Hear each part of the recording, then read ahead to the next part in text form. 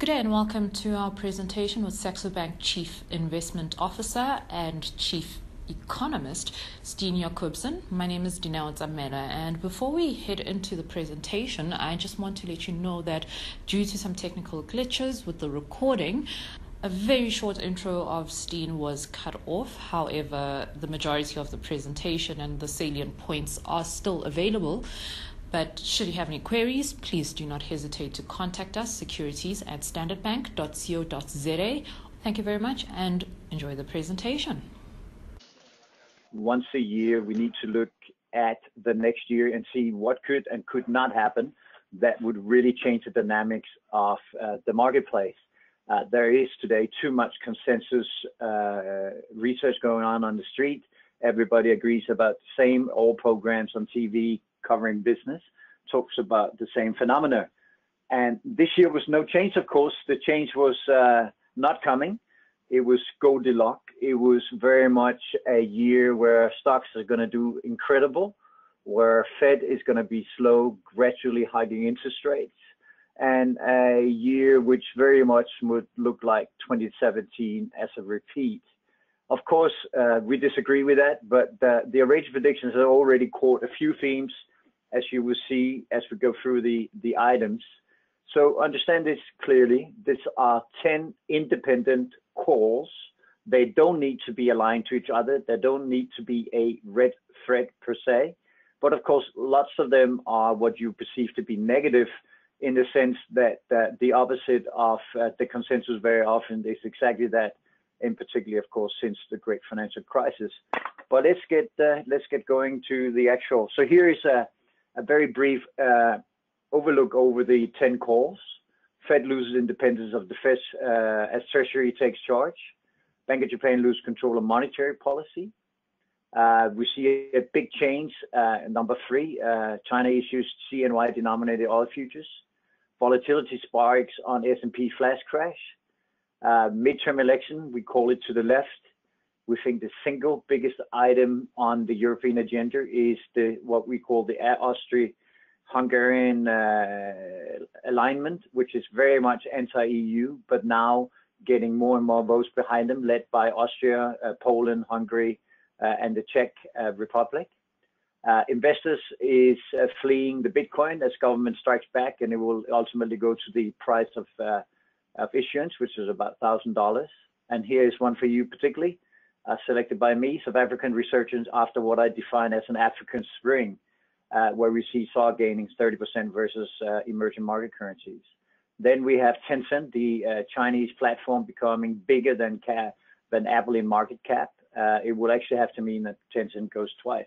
And then a more soft one, but one we really adamantly believe in, and that is that we will see a change not only in the political space, but certainly also in the in the boardrooms and in the CEO offices uh, across the world going forward, uh, and I explain you why. But let's uh, get into the actual predictions.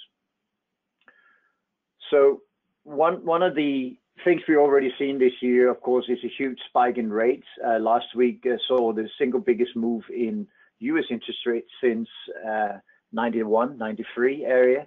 and what we said um, here in this first call, which was done in November, of course, was that the combination of uh, very high deficits could ultimately lead to uh, debt coming out of control. So in order to maintain this debt, uh, the uh, uh, the bondholders would want a much higher rate. Uh, so what we think is not actually calling that the interest rate will go higher. What we are calling is the potential for ultimately that U.S. Treasury, similar to what we've seen in Japan, will come in and fix the interest rates. So as you see at the bottom here, U.S. Treasuries uh, uh, will be uh, at a 2.5% yield cap. And, and don't forget right now, as we talk today, the U.S. 10-year yield is at 285 basis points. The argument here clearly being in a world that has created nothing but debt, it will be impossible to make the market reprice all of the uh, interest rates according to market prices so instead, you replace that by a government cap of 2.5%. The catalyst for this would be another explosion of debt, primarily through the fiscal impulse, a fiscal impulse we already seen uh, materialize, of course, through the tax rebate that was uh, done in the U.S. and which will cost a minimum of uh, $2 trillion on top of an already massive debt mountain. So watch out for interest rate. And I'll just make a, a comment on a non-outrageous uh, format. The one thing you need to watch this year will be the 300 basis points uh, uh, neckline in 10-year U.S. Treasuries.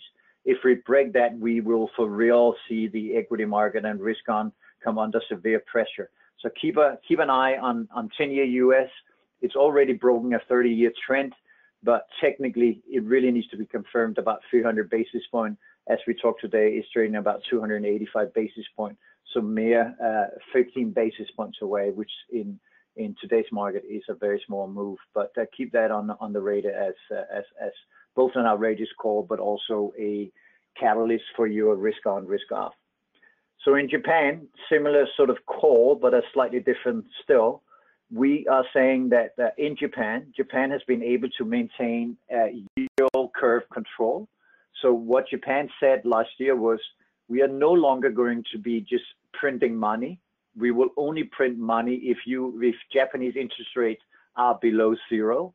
And as of course this year they have moved away from zero based on the US taking the lead, but certainly also through China, then the ability of the Bank of Japan to maintain this uh, policy becomes obsolete.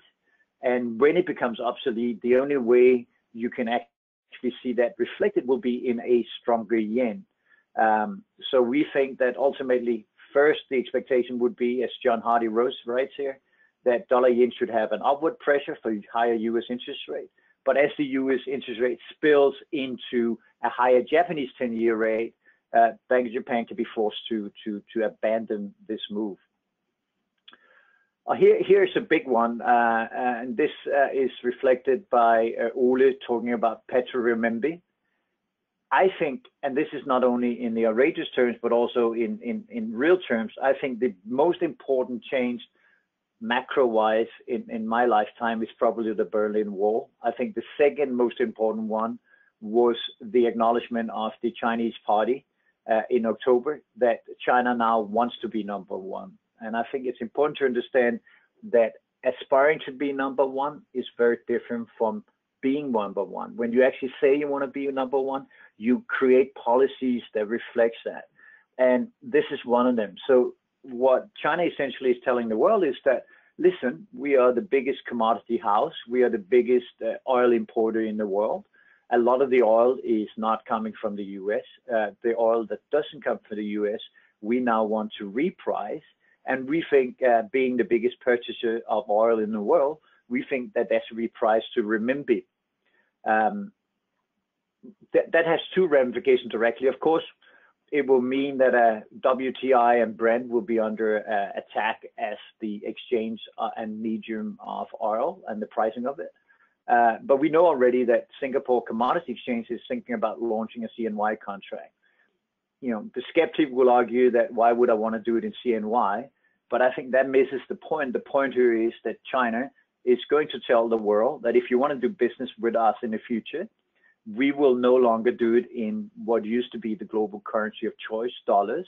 But as we are aspiring to be the number one country in the, uh, in the world, you will have to do these transactions in CNY basis.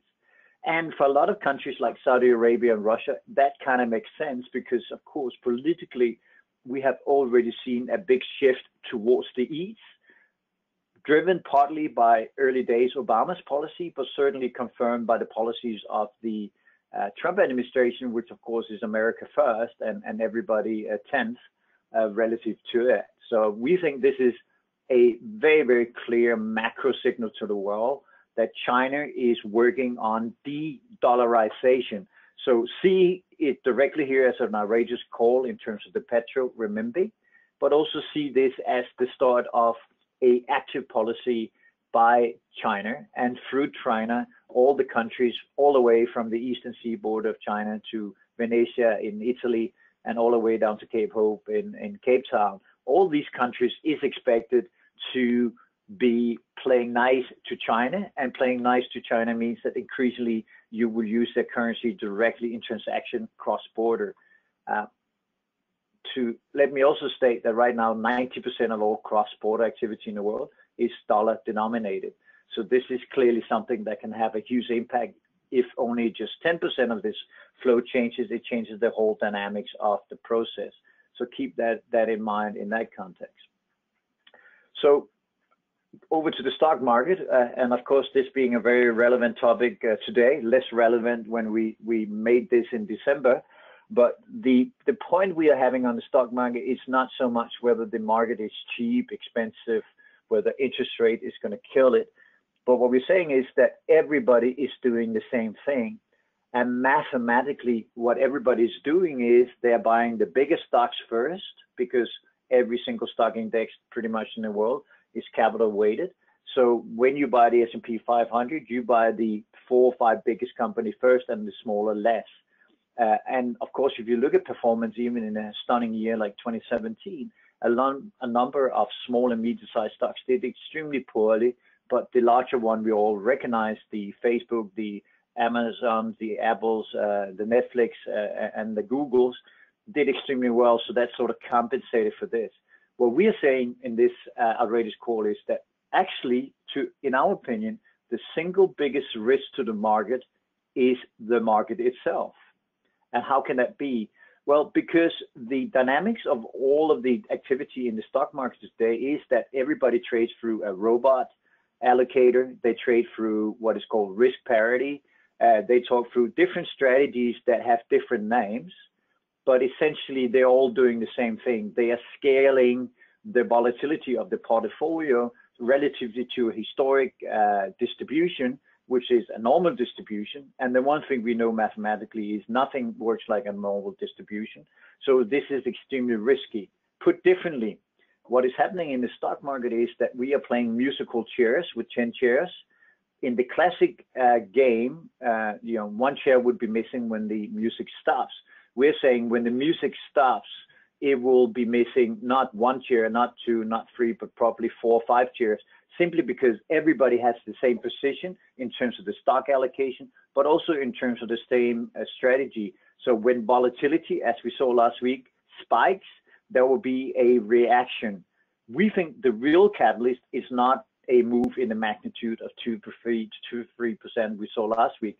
But if we had a sustained uh, negative market for a week where the market was down 5, 6, 7, 8% during the week, that will unleash a huge amount of hedging because all of these strategies then would then be having too much risk relatively to the volatility they accept or put differently, relatively to the amount of money it should be able to lose. And then all of the mechanics will be to do the same thing, which is to sell the market itself. So watch out for this musical chairs that is going on. And you know, as we speak today, it's probably a very good day to do exactly that for this week. Watch whether the two and a half, three percent sell-off last week accelerates into a five to six. Then you will see the momentum really kicks in. But let me say, I'm not saying that will happen. But I'm saying in the context of the of prediction and overall, we think the market itself is its worst own enemy. Also, you know, just historically, I've never seen that something which is an output, which is volatility from the stock market, is used as an input. You would not believe how many people have told me that should buy the equity market because volatility is low. Let me just tell you and explain to you, volatility is a derivative of the equity market itself that is not something you use to put in as a reason why things are happening. Less, uh, um, on the radar right now, but don't forget November, uh, you know, pretty much 50%, if not 60% of all uh, government elected uh, officials, now uh, representatives in the US government and, and, and, and, and in the opposition will be elected. So midterm election is everything for the course of this year what we're saying here is that when we look back at the election of Trump, he didn't really win, first of all. Uh, we think, uh, and I personally was very loudly saying that at the time, that Clinton was unelectable. But what I think we missed in the result is the fact that may, although Trump won, the real result was the Bernie Sanders uh, rise that we saw. The far left, this almost communist uh, party person who came into the Democratic uh, Party and almost uh, won over Clinton in the first place. I think a lot of people are today arguing that he only lost because he was cheated on basically by establishment. Uh, maybe that's a lesson in itself. But we're really saying is that if we look at the predictions for the midterm election, it looks, you know, despite uh, it shouldn't be possible, that uh, Democrats will have a hard swing to the left. And we think the voices of that and the carrier of this message will be the young people, will be the people who are left behind in inequality. And I actually think personally that the tax rebate that came out would actually make this uh, actual subject even more likely to happen. So expect a very hard swing to the left in terms of the midterm. And that would essentially mean that Donald Trump is a lame duck in, in, in politics. I'm sure it's not going to stop him from doing more tweets and trying to upset everybody. But the fact of the matter is that his ability to navigate will be very different. And then immediately American politics will be about the next US election, whether the Democrats can use this momentum into the next one, who's going to be the candidate and the like. But uh, do watch for this left uh, leaning. And I'll say this is not only in the US, it's something we will see in Scandinavia, it's something we will see in South Africa as well, that the young people vote more, and certainly the young women especially vote more. So university cities and the like will be a big determinator of uh, the election outcome. Here is a European one. So, you know, the Austrian-Hungarian Hungarian Empire yeah, was used to be big, but what is going on in Europe right now is that everybody's focused on the Italian election in March. We think that the bigger threat actually is the fact that a lot of these Europe-skeptic countries, uh, uh, which is of course Austria, Hungary, uh, Poland, uh, certainly, and the Czech Republic, they are all very, very aggressively trying to negotiate. Before it was one-on-one -on -one against the EU, but now they have aligned themselves to be together. Um, and and of course, uh, if they are able to carry this charter and and and vindicating it with their voters as they've clearly been able to so far, uh, then we have a what looks like a hard move to the right in European politics. But we also have a move which is really upsetting the whole uh, axis of Macron and of course, what makes this topic even more relevant this year is the inability of the German government to form a, a new government. Uh, we have now uh, been been been in negotiations forever, and it looks like uh, we're getting closer, but still no cigar. So European politics, the anger of European politics being Merkel, she is really at risk, uh, in our opinion. But overall, the German axis uh, with France is now being questioned by these Austria-Hungarian links. Um, if that happens, we think that's a real risk to euro. Having said that, our official view remains the same that dollar is weaker and the euro is stronger. But we do think this one is the outrageous thing that could really upset things when the if these Austria-Hungarian uh, counterparts is able to to switch the uh, ongoing European uh, talk about uh, certainly immigration, but also the wider scope of uh, what happened next for Europe. And then the one everybody wanted to talk about in Q4, which no one wants to talk about now, uh, the cryptocurrencies.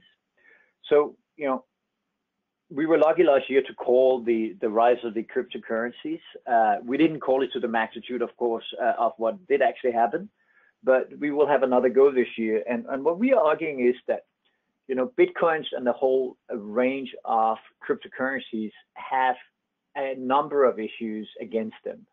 First of all, and most importantly, if they are deemed by monetary authorities to be a threat to money issuance, there will be regulation. Don't forget, any political economic system is built on the ability to tax its citizens at the maximum rate possible and control the amount of money in circulation. Everything else is pretty much irrelevant.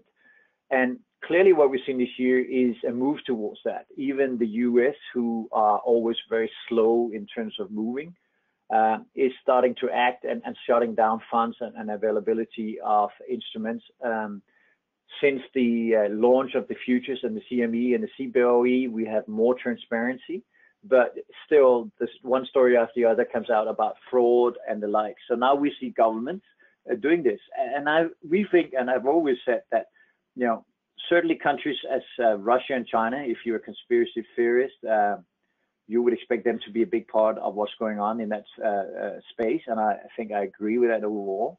But remember, countries like Russia and China, they want to control everything through a platform. They want to control everything uh, in terms of what's going on, who owns it, and who's doing what. So what we see and will see is, of course, this uh, ability to be anonymous is going to go away. That legislation was passed the end of the month in uh, South Korea. I think that is increasingly what will happen across the, the board in, in terms of other countries. But I think the single biggest risk is that the uh, regulation on this space will be hard, and it should be hard. I mean, it's extremely speculative. It's it's uh, you know even at best it's it's dubious whatever is utility function of cryptocurrencies. The the one sales argument we keep hearing is this independent. It's uh, not central bank linked, but at the end of the day, what we've seen so far is that everybody wants to link it up against the bank system, and that is validity of it. So very concerned. We argue that you know ultimately, and again as an outrageous call, the whole usage of bitcoins and, and cryptocurrency can be forbidden, and the context used will be regulation, but more importantly, that's uh, monetary authorities feel that is uh, running out of control on the money issuance. Um, and then the uh, South African uh, story. So as you know, those of you who have met me in South Africa, I've been very bullish on South Africa for a long time because I am a firm believer that the political system not only is uh, a good indicator of what would happen into the future, but a political system where one party can't do anything is really what dictates a, a, a, a growing economy. Um, we've seen that certainly in Europe. Uh, Belgium, without a government for two years, every single macro indicator improved. Uh, Clinton's uh, presidency in the U.S. He pretty much did nothing but uh, smoke cigars during that period, and it's the most successful economic uh, period in, in U.S. history. Um, and I think that is also going to happen in South Africa. And let me, me uh, outline this scenario. So what I noticed a couple of years ago was, of course, that the city at city level in South Africa, we were starting to see a sharing of power, or rather, there was a 50-50 split between the ANC and the uh, DA in terms of uh, uh, mayorship and, and, sharing of power. And in an environment uh, and in a, in a in a situation where you have uh, the inability of one party to over through, through ruling through majority, I really think you have a perfect situation because then you have to go across the aisle to actually create some new political mandate. Um, that has now translated, of course, into a more national agenda, although, of course, we are still in the dying uh, minutes of probably Zuma's uh, time as president. I, I, think the transition into a new ANC, uh, ANC uh, will be very positive. It's already been interpreted very positive about the market. But I think it's even in a so greater context, I think what I'm focused on when I'm very positive South Africa is the fact that we had one bad regime replaced by another bad regime. Now we're going to go for the third version, which is the sharing between those two bad regimes and trying to move the agenda forward. If there's one country in the world that can really thrive through this, it is South Africa. You have huge amount of upside. I know when I meet you uh, around uh, the South Africa, you're all very depressive and, and for good reasons, I think. Um, but I think you know South Africa's magnitude and, and ability to to be part of the sub-Saharan Africa growth is is is humongous. Um, I think there are indications in Zimbabwe that's changing as well. So I think the South African uh, lead will be very very significant. Uh, so I have uh, decided to call it the African Spring. Whether I get disappointed uh, one more time will be to be seen, but uh, I really think there's huge upside. And let's not forget the South African rand must be the cheapest currency in the world. Uh, there, there, are simply significant value in this great country, uh, uh, in my opinion. This one is an interesting one. Uh, Tencent, the uh, Chinese platform, will be bigger than Apple. Uh, looks very unlikely as we talk today. But I think what you need to understand, and the argument we make, is that think about all of the Chinese companies, the major companies, the Alibabas, the JD Coms, and the likes they operate on a state monopoly sanctioned platform. So basically, the Chinese government wants them to be successful. They want them to grow because it's much easier for the Chinese government to control what's on the context, what is flowing, what other information can they extract from it if they have one or maximum two platforms that is competing. Whereas we in the rest of the world increasingly will look towards getting away with the monopolies that companies like Alphabet, uh, Google, uh, Amazon, and the likes have. And don't forget, in a legal term, a, a, monopoly is when you have more than 25% market share. So the reasons why you've done so extremely well in the FANG stocks is partly because the technology initially was great, but from an economic point of view, the real reason you're doing is because they all run monopolies, which means they can set the price much, much higher with no supply elasticity in terms of how much you buy. So basically your demand is independent of the price, which you of course most clearly see in the case of Apple, but certainly also see in, in companies like Amazon and the others. So we think there is an arbitrage going on here where Chinese companies will be allowed to grow forever. Uh, Peter Garnry is predicting that the 10 biggest companies in the world in 10 years time from now will be Chinese. And on the other hand, we have European and, and US markets under increased scrutiny relatively to this monopoly exercised by the competing companies in the West. We clearly think that the monopoly allowed companies in, in China will do better. And then the, the final one, which is kind of a, short, uh, a soft one, but uh, we think it's uh, time that women smash the glass ceiling. Not only, and, and one I have to admit, one of my female colleagues she thought we were uh, indicating that it is outrageous that, that, that it didn't have a list of middle care. We think it's outrageous that women not already are 50% of the leader uh, C, suites uh, around the, the world. But what we want to make clear to people is that in a world of increased inequality, in a world with less reforms, in a world where women are better educated than men on average, uh, where women vote more than men, we think this is the time where women actually uh, stand up and, and, and wants to be counted and become progressively more involved. And what's very interesting is that if you look at the the uh, top U.S. executives, the women constitute less than six percent right now. We think that will double, which doesn't sound like a lot. But what I think is more interesting for you as a as a market player is that the companies run by CEOs, uh, which are female, does better and they are higher compensated. In other words, in a marketplace environment, these women actually do uh, better because they're paid higher. So they have done you know, different. So what we're really saying is that we think that activating women in some countries that have low women participation rates in the working force, but overall, we think both in politics and in in the C-suites, we need more women who are not testosterone driven and we need a different model. We need a different approach, and, and why not tap uh, the the, uh, the the best way to do that, which is to live up to what we've said we wanted to do for the last hundred years, and to create equal opportunities in in in the working space. Um, so rounding rounding it all up and going back to the initial space here. So although there is not a theme, I said beginningly necessarily, there is one indirectly here. One is that the volatility and the low levels we've seen since the great financial crisis is unsustainable. It is that China will rule through monopolies in, in company space. It is that there is too much inequality in the world, not only in terms of um, the, the classic one, which we see that, that, that, that employees are getting too little pay, but also in terms of women. And we think they, on the upside, we think there's huge amount of upside in South Africa we think uh, finally uh, that uh, the crypto hype will disappear somewhat. We don't think that that, that the story is over. We don't. We, we're not saying necessarily that that uh, that blockchains and the likes is not uh, uh, survivable or long term. We think actually it's a great idea. It's a great concept, but cryptocurrencies is is not the way to play it. We think China is moving towards a de-dollarization and active policy of de-dollarization and the risk for this year, as I started out by saying, remains the same.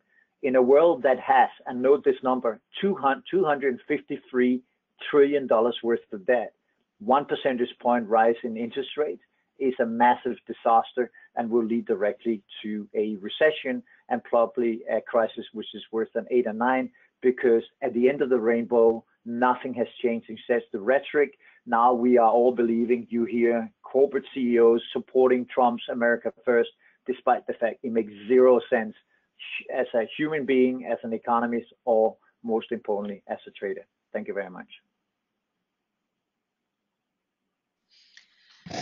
Thank you, Steen. Um, Okay, so we do have a few questions. Um, if anyone else would like to send questions through, please, you can send through questions now. Um, in the meantime, I'm just going to check. So, um, sorry, my screen is a bit tiny. Just want to make it bigger. Um, China Petro Renminbi. What is the time frame and what impact will that have on the US dollar? Um, I perceive this to be the biggest threat in the foreseeable future. Can you comment I very that? much, yeah. I, I agree with with, with uh, the question. I think this is the single biggest change of macro dynamics we've seen uh, certainly in the last uh, 20 years, uh, and I think we know for a fact that the Shanghai uh, Commodity Exchange already is in the process of testing uh, its system to go to a CNY denominated contract. What will be interested is is really how they're going to track the flow. I think they can force the hands of Saudi and others, but whether we as investors are also allowed and to play that game. There's been a small rumor that the CNY contract could be partly uh, paid in gold as well. So that, that is an interesting context. But I really think we are talking certainly inside this year, but uh, in the case of Chinese uh, sources, they want to do this uh, around uh, late summer as per usual in, in the Chinese. Don't forget we're moving into the lunar um, uh, year holiday now in China. So we, we're looking at uh, Q3, Q4 for this. But I agree with, with the premise of the question, which is this is one of the biggest upsetting ones. What does it mean for the dollar? If dollar goes down in transaction and value, combined with the rhetoric of the Trump America first, I think we are going to see a continuation of the trend. Don't forget the dollar has been weaker throughout 17. I think that will continue. I don't even think a higher uh, projected Fed will be able to take the dollar uh, for more than a correction because at the end of the day, we all know there's too much dollar denominated debt in the world that needs to be written off. So I, I think we see a huge change driven again, and as it's done in the last 20, 30 years by Chinese macro changes to the overall uh, environment. Thank you, uh, Steen. And Doe wants to know, what is the impact on the dollar if um, the US hikes their interest rates? Well, I've uh, tried to show you a few charts when I've been around in South Africa. It's actually of interesting that the Federal Reserve hikes generally lead to a lower dollar and actually goes to the first question for the reason. The reason is that the rest of the world uses the US dollar as a reserve currency when you have a reserve currency um, uh, being the dollar, then what happens when the US interest rate goes up, the price of money goes up clearly. In order to compensate that for the non-US uh, citizens, you make the dollar cheaper in order to regain that equilibrium.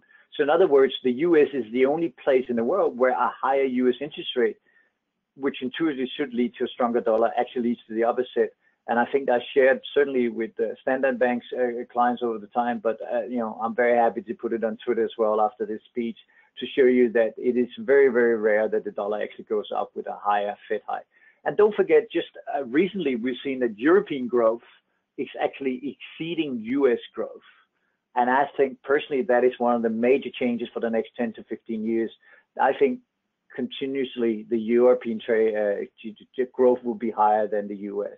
We are simply uh, further back in the business cycle. The US business cycle has already peaked, in my opinion. Uh, so what you see, you will see dropping US growth uh, into a hiking cycle. So you can risk, at worst case, a stagflation in the US. At best case, you're going to have a deflationary environment through a, uh, a much higher interest rate. Thanks, Steen. Um, Robert wants to know, have you got an outrageous view on gold and oil? Um, is there anything good that you expect in the markets apart from Tencent? For every action, there's an opposite reaction. So how can we benefit? Yeah, so I think, um, you know, we generally have a gold call every year. I think gold stands in front of a massive rise. I think some of the attention, in, second half of last year was uh, taken over to bitcoins and cryptocurrency for some players. But I just uh, listened to Randgold's uh, reporting this morning, and it's very interesting. Randgold's CEO says there simply isn't enough assets being developed in gold, so we have a ma ma major shortages in, in gold's ability to produce. I think gold and gold mining stock stands in front of a massive upside. And, and the interesting thing, of course, gold mining is that uh, the extraction cost is down at $400 roughly on average. Uh, cash flow is positive through the price, but I also think the the demand will increase significantly. So I'm very, very bullish on uh, on gold. On oil, I've said for the longest time, and I've been partly wrong, that I think it's a 25, 65% range if we talk about crude WTI. Um, right now, it's uh, trading at the high end through a small combination of geopolitical risk and uh, excessive uh, growth uh, expectation for uh, from the U.S. You have a U.S. president talking about five to seven percent top line growth in the U.S. Uh, we're going to have exactly what we had in the last eight years. We're going to have two and a quarter, two and three quarters growth in the U.S. So I think you know I'm looking for levels to to short the the oil, and I could easily in a very bad environment see go oil go down to twenty five dollars. So if you rephrase, if I allow myself to rephrase the question, which put should I buy uh, in the market? I would buy a, a 20 delta put in the oil market. I really think that's going to make you a lot of money this year, uh, as we have extremely uh, complacent uh, expectation on growth. Thanks, Steen. Um, and EJ wants to know, what do you mean uh, when you say cryptocurrency is not the way to go? Do you mean blockchain? Um, yeah, what I what I mean is that if you think about cryptocurrencies, uh, the different uh, cryptocurrencies are really uh, different technology stages or version of technology trying to sell the same concept. So ultimately, at the end of the, uh, end of the day, only one technology will survive. So the relative price between the different cryptocurrency is based on uh, its utility, uh, its of course quality, but also its energy consumption. So Bitcoin being the most expensive in terms of energy, but having very high brand recognition and the like. Bitcoins as a, our cryptocurrencies overall for me is not interesting. It is the underlying technology that survives. So right now, a lot of people will argue that Ethereum, of course, has a superior uh, platform. Uh, then there are others who talk about Danone and all of the other technologies. But remember, your cryptocurrencies are competing similar uh, technology developments that you engage in. But what Bitcoin and, and the other cryptocurrency is not doing, which it's portraying itself to do, is to create independence of the normal market of governments and everything else. Because what will happen, and that is the, my point, is that governments will, if this becomes too big a market or becomes too volatile, they will step in, they will control the market, and ultimately the governments will use cryptocurrencies and certainly blockchain to do more surveillance of what happens. And it will probably be blockchain that is the way to have a global tax for corporations and the like. So, so I think the Bitcoin space is very interesting. It's it's it's not that I'm I'm I'm, I'm deeming it to be useless or anything. I'm just saying the you have to remember it's competing technology. It is big blockchain that that that really carries it. It is not a competition. It is not a currency. It is not a commodity. It's it's a game token that goes on until someone wins the technology game, then of course it's going to be a magnificent investment for that uh, surviving strategy, in my opinion. But let, let me remind me, I'm 53 years old, so I'm probably the wrong guy to ask about uh, cryptocurrencies. um, and a question from Ryan. Uh, what is your view on the growth of electric vehicles and the influence on liquid fuels? And I know you touched on this when you were in South Africa, but um, perhaps you can just recap quickly. Yeah, so we see we see a bigger and bigger drive uh, on on this electrifications, and I think what I said in South Africa, and which I really still think is that electrification and and the and certainly the battery uh, technologies that comes with it is going to be the biggest capex expenditure uh, rise we have seen in our lifetime. This is similar to when we went from horse carriages to engine uh, cars, uh, the Ford evolution. Why? Because think about batteries as the way to store energy. If we get the battery technology right, we can increase the productivity and reduce the cost of alternative energy sources like sun, wind, hydro, and everything else.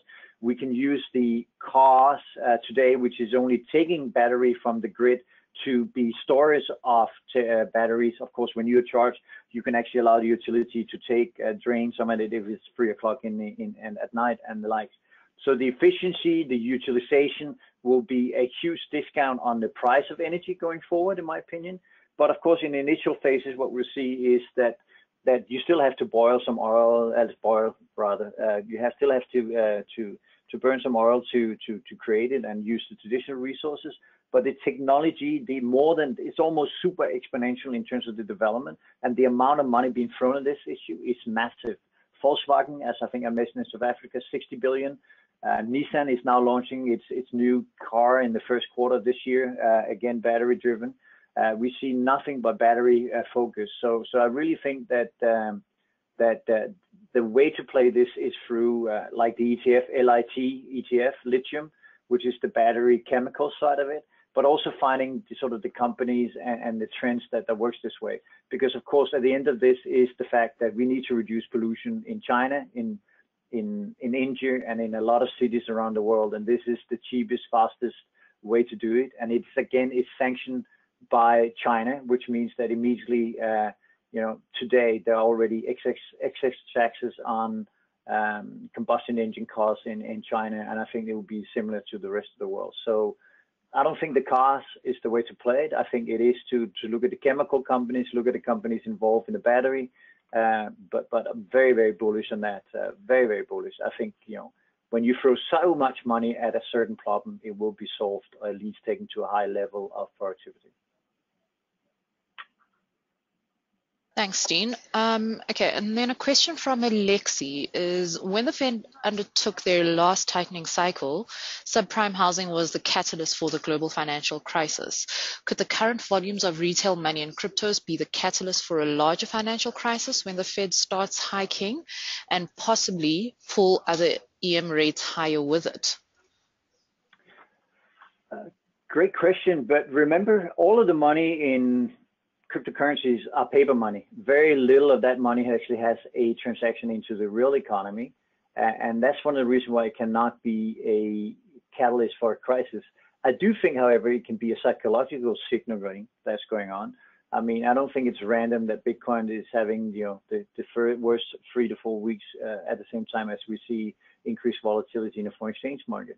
But but I think the, the catalyst is more the market itself. I mean, just go back a couple of weeks and read the, all your business papers in, in South Africa. They were full of managers and guys like me telling you that, you know, 18 is going to be great. It's Goldilocks. It's a gradual height, blah, blah, blah. And here we sit, you know, three weeks later and volatility, everybody's concerned. Uh, we had a massive move last week. Um, so, you know, for me, the the risk is not crypto, but uh, you're right to look for a catalyst I think the catalyst is the higher interest rates because the one thing we do have a lot of, of course, is a huge amount of debt, and that is uh, certainly a case for the private sector, but it's even more the case now, certainly in the developed market, through the corporate sector. The corporate uh, treasuries of uh, different companies, it's it's up to the its neck in in, in issuance of debt, and that's going to be the issue. So I think the driver will be the uh, combination of slightly higher inflation expectations was basically that that interest rate is going to kill the uh, the Goldilocks. Thanks, Steen. Um, and then I've got two questions on China, so I'm just going to lump them through together. The um, lump them together. The first one is from Johan, who wants to know how much impact do you believe the Middle East, the Saudi bond issuance may have on China or US economies or currency strength. And then Harry um, Harry wants to know: Would you suggest investing in the China Stock Exchange rather than the U, than US to benefit from the CNY? Um, and then can you also just um, expand on what CNY is or which company it is? So CNY is the Chinese uh, denominated currencies, which has done extremely well. Um, in terms of investment, I think yeah, I understand the question clearly, but I think what you want to do is to go to some of these more theme-based investments uh, instead of looking for single company's exposure. Uh, so the question before on electrification is is a play you can do in theme-based. You can play on uh, the rise of urbanization. Don't forget China today has an urbanization rate that mimics what the US has in the 1920s, uh, teens um, and and same with uh, India. So I think a lot of the, the, the drivers long term of return in, an environment, even of a negative market, is going to be the fact that China needs to move to the city. They, they're going to be having a higher middle class. electrification will be ongoing because it is driven by supply. So I think the, to a large extent, what you want to do is move away from single stock to more theme-based, so you get a broader, broader sort of uh, tag onto what is going to happen to the dynamics of the marketplace. Um, so that that would be the answer. That in terms of the Middle East issuance of bonds and the whole Middle East situation's impact, um, of course, it has an impact on the on the um, on the oil price uh, and overall. And and I have to say, if if you ask me uh, uh, off record, which will be the single biggest risk, I think it's uh, the Middle East for this year. Um, I was in Dubai just before lunch, uh, not lunch, but before Christmas, um, and Dubai felt, and what I heard on the ground is the worst I've seen since 2000, uh, 2008, 2009, where we had the crash. Basically, this whole "you are with us or against us" line taken by Saudi Arabia is increasing the religious issue as a as a major theme. A country like Dubai, who's always praised themselves for being a place where you could be whoever you want, under which religion you wanted, they are, uh, you know, seeing people leave. Certainly, seeing a lot of Iranian people leave the the the the, the area, of course, because of the alignment against Iran from Dubai with Saudi. Um, and, and, I think overall, the Middle East, uh, the at the time of the issuance of uh, the uh, Saudi bond, I was in uh, in the Middle East that week, and uh, I think it's massively interesting because, of course, you get a get a higher carry for uh, access to the biggest oil reserve. So I think the story is still the same. You have these countries that never had relied on debt before. Now they rely on debt. Creating more debt, supplying more debt to the marketplace, create big opportunities. Hopefully, create some and install some some investor uh, control. But overall, the Middle East can only impact the rest of the world through energy and energy prices. But I think there is a significant risk for a resurgence of this uh, Arab Spring again. I, I, when I travel around that region, it's privately my biggest concern. Okay, and we have a few questions on Korea from Robert and John, who, um, sorry, not John, um, from yeah, Robert, and he just wants to know, um, do you do you think that um, we can anticipate a conflict on the Korean Peninsula? And I suppose somewhat related, um, but not really. Do you anticipate a second term for Trump? Let's deal with the second one first. Uh, I think it's very unlikely that Trump. I, I think he thinks he's going to have a second term. Uh, but if I'm right about the political changes that's ongoing in the U.S., uh, he he represents 30% of the U.S. population. Um, as long as the the opposition Democrats can't find someone who represents 35 is an issue. But I'm pretty sure between now and, and the actual president election they'll find that. And I'm also pretty sure that it will go uh, south for, for Mr. Trump in terms of the economy and the performance. And what a lot of people forget is that actually Obama's first year as president was uh, a higher return than Trump's first. So may, may, maybe we should also put it into context. Um, in terms of the, sorry, the first question was uh, on, I forgot, sorry, old age. Um, no, it's fine. Um, do you think there'll be a conflict on the Korea, uh, Korean Peninsula? Yeah. yeah. Um, my limited ability of accessing U.S. sources said for the longest time that October, November was was the risk. I think I also said that when I was in South Africa. Uh, I still see it as an issue. I, I think if, uh, but I unfortunately think it's all driven by politics. So the more insecure Mr. Trump is, and the less certain he is he's going to get away from this uh, Russia collusion uh, ongoing talks, the more likely it is he's going to force the government. As, as you probably, and I think the, the, the person asking the question already know that there is this uh, number of different strategies uh, being leaked to the press that the U.S. is considering. Of course, that could in itself just be a strategy, but uh, you know the ability of, uh, of, of U.S. politicians to keep anything secret is very very small. So, so I think it's still likely. Of course, the Olympics coming up, it's not an issue. Uh, but but look for a deterioration in Trump's um, ability. Uh, look for him to ramp up the uh, attack on everybody else before that happens. But clearly, it is a risk, and I think that there is a potential risk for miscalculations here. But uh, I think it takes something desperate for him to go in right now. But on the other hand, as a as an enforcer of the nuclear um, uh, act, uh, it's very difficult to sit by and just allow this to happen if they ever should uh, launch a missile. So, great question, and great question always meet the same answer from economists. Uh, it's an interesting question, but but the uh, but the fact is, I, I think it's it, it, will be entirely driven by his political ability to to stay on top of this uh, Russia investigation that is ongoing. Okay, and then just two questions from David and John um, on Brexit and Europe. Um, David wants to know how far behind will Britain be at the end of 2018, and are there any circumstances for calling off Brexit? And John wants to know will the diplomatic tension between Western and Eastern Europe be resolved soon, and if so, what impact will that have on the euro's value, and what will the position be with Brexit?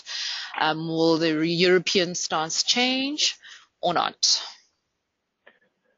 Yeah, so I, I think a number of people now is coming to the position on the the March next year date for the exit not to be in place. I think it, that will be an extension of the timeline. Uh, clearly, this week is critical for uh, PM May. Um, I don't think even the UK know what they they want, and it's pretty difficult to negotiate an actual uh, exit trade when they don't actually know what they want to do. So, so I think it's very likely we will see a delay in, in a vote. And I think to some extent, from a market perspective, that dilutes the whole issue because it becomes less and less likely it's going to be a hard exit.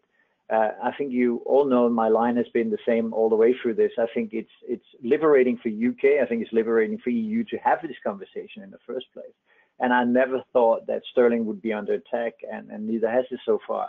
Um, but but but uh, but the overall Brexit uh, take for me is that at the end of the day, we're going to have a deal that suits both the UK and, and, and Europe. Don't forget, uh, Europe runs a massive surplus against UK. So in an environment where we want to continue to grow, have employment and the likes, we certainly don't want to shoot ourselves in the foot by by by making the, the issues difficult. I think the the big move we've seen in Europe in terms of Brexit is the fact that uh, Merkel uh, as she de facto is not on, she's only a temporary uh, chancellor in Germany, has allowed Mr. Macron to take the center stage. And he has very clearly said that he wants to work with the UK to find a deal that suits both parties. I think the French line is the one that's going to prevail at the end of the day. I think the second question on the East-West uh, coalition uh, they're on, um, clearly already now, uh, EU have taken the unusual step to pull the uh, Poland in front of the Constitutional Court, um, and they were going to have sanctions. So I actually think there could be an escalation on the East-West alliance uh, into this, which is kind of surprising, you know, considering everybody's having high growth and things are going relatively well. Imagine, and I think that's the later part of the question. Imagine what happens if Europe slow down again. Uh, or these economies is underperforming, then we have the, the higher risk of this becoming a real issue.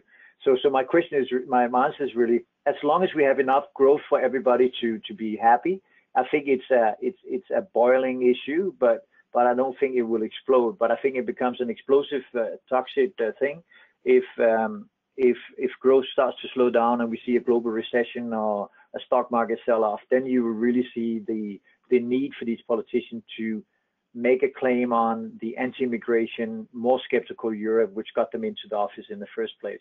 But but I agree with both these questions. These two questions are for the European uh, investment this year uh, critical.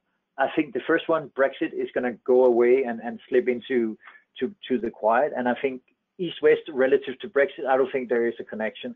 If anything, uh, it would have been better for Europe to have the UK at the table. But you know, things things are as they are, and, and, and I don't think. But I but I certainly agree that the East-West relationship can get worse if we see economic conditions, stock markets uh, come down, and then it can become a real issue, and that will be massively negative for the euro, uh, in my opinion. That it, it's far beyond what the Italian election can do, even with uh, five-star movement becoming uh, the biggest party in uh, in Italy. It's it's not. Uh, I really think that is the single biggest issue. Great, thanks, um, Steen. And then just coming back to South Africa, or um, Colin wants to know do you think the move to um, the national health plan uh, will have a, a, massive, massive negative impact on growth? And a second question from I can't see it now, from Des is do you think South African stocks will benefit from um, the potential change in leadership in government if our president is recalled this year? So on the second one, I, I think we have to agree that um, large majority, if not almost all of the US uh, companies in South Africa, the bigger companies are, are excellent global companies that run really well. I think JSE is remarkable in the, in the fact that uh, you know 80% of the volume comes from overseas sales. So clearly, great export machines. I don't actually think that you know if five lines down the five years down the line, uh, you know you will be driven by these companies' ability to operate in a global uh, uh environment rather than in the South African one. So yes and no. There, of course, you know if there's a change and there's a confirmation, there will be a relief uh, rally from that but I think the JSE will be driven by external factors. I think I said to you all uh, again and again that unfortunately South Africa is placed certainly for equity investor where 90% of the return is going to come from external factors and less than 10% from from domestic. The national health plan, I think. Um, is it too expensive? This is wrong. It really needs to be redefined in, in the context of uh, what is uh, credible. So I will I will give you a typical politician answer to that question, saying that if the plan is credible and financed and there is a support for it, it will be very positive. Um, but if it fails to to create that credibility, and I think not not being the bloody outsider here to uh, a foreigner here in the outsider, but I think credibility is a big issue in in terms of everything that being brought far forward in the political scale uh, in, in South Africa. So, so my intuitive answer would be it's slightly negative in the short term, but it makes sense to have a, a national health plan. It makes sense to secure that people, you know, have access to schools. Uh, I mean, uh, it is the foundation, as I said to you guys again and again. It is to be better educated. Productivity comes from education and health. Uh, so we need we need focus on that, and we should have focus on that as well. Thanks, Steen. And just the last question um, from Gavin is given the uh, predictions, what is your general advice to long term equity investors, both globally and in SA, regarding positioning themselves for 2018? So long term and 2018, um, contradiction in terms almost. Of course, we're, I mean, I, I think the time now is to protect what you have. We had an amazing run in JSE, but also in the global stock market. I think, and I said to you long, long time, uh, for a long, long time, I think the right way to approach this to, is to think in my four times 25%, 25% asset allocation, 25% in fixed income, 25% in equity, 25% in commodities, and 25% in, in cash or real estate. If you rebalance back to that, because if you've kept your equity stake for the last five, ten, seven years, your equity stake is 80%. So I really think it's it's it's back to basic. It is just reassigning equal uh, upside and downside potential for the equity market. But but having said that, you know, on the currency side, I really think as a as a, a South African-based investor, you have to be very very clear that South African rand could be much much higher over the next two to three years. So my number one issue would be the currency impact on my foreign investments in the local market, I'm going to get a little bit of, as we talked about, premium from from the political changeover. But again, the, the real traction comes from reforms, comes from improvement of infrastructure and the likes. I think it is coming, but I think that is more than a 2018 issue. So for 18, defensive, get back to basics, protect what you have would be my top line uh, advice. But in terms of investment, if we're looking sort of where to place money, go after the themes. Get away from buying single companies go towards buying themes that you know are long-term sustainable, urbanization, the the battery technology we talked about, the ability of mining being so cheap, uh, certainly gold mines being so cheap relative to cost. So look at what is down and and and, and being right now relatively to what is excessive, and certainly the excessive part is stay out of the U.S. The dollar is going weaker. The U.S. companies that have done extremely well will will meet uh, monopoly charges and and I think uh, if if looking for more liquid market, I think something like sterling can still perform. I think Europe will still relatively well, and it's much cheaper for for the 25% you have. But being defensive and first and foremost protect the money you have for the next uh, six to nine months. Okay, Steen, thank you very much uh, for a very enlightening and insightful presentation. I hope everyone enjoyed it. Um, I see a couple of thank yous, so thank you everyone for listening in and thank you for the great questions. I think, um, Steen, you handled that very well. Um, for anyone who just wants a recap of um, the presentation, it will be available on the OST um, website by tomorrow. So if you need to just recap, you'll have it available. Otherwise, I think, Steen, can they contact you on Twitter? Absolutely. Any anyone, you know, just, uh, find me on Twitter. I'm, I'm available. If there's a view charts that needs explanation, uh, feel free to, to, to contact me. And thanks everybody for the great question and, and the audience. Great. Um, and Steen, could you just give us your Twitter handle, please? Well, I knew you were going to ask me. Uh, Steen underscore, I think it's Steen underscore Jakobsen, two E's and Jakobsen with a K, of course. All right. Steen well, Jakobsen, yeah. All right. Otherwise, just go Steen Jakobsen Twitter on Google, and I think it's pretty sure it comes up. Okay. Thank you, Steen, and thank you, everyone, and enjoy the rest of your week.